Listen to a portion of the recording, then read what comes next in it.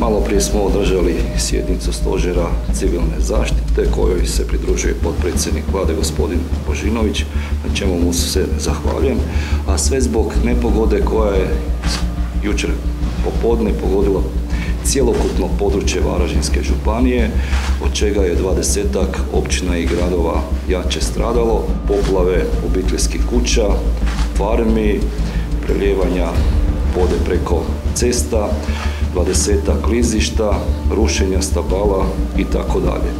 Na teren je izišlo 57 vatrogasnih postrojbi, odnosno 1065 vatrogasaca sa 245 vozila. Također, sinoć je bilo zatvoreno 10 cesta, od čega 3 državne ceste, 7 lokalnih, dvije zbog prelijevanja vode, a 5 zbog pojava klizišta. Sada još uvijek imamo zatvoreno 7 cesta, od čega jednu državnu, četiri županijske ceste i dvije lokalne.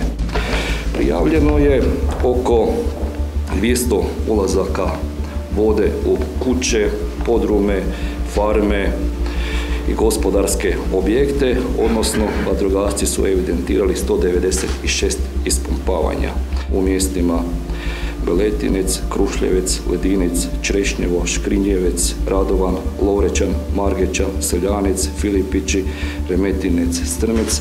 Nema redovite vodoopskrbe jer je voda zamučena, ali radimo na tome da se to otkloni.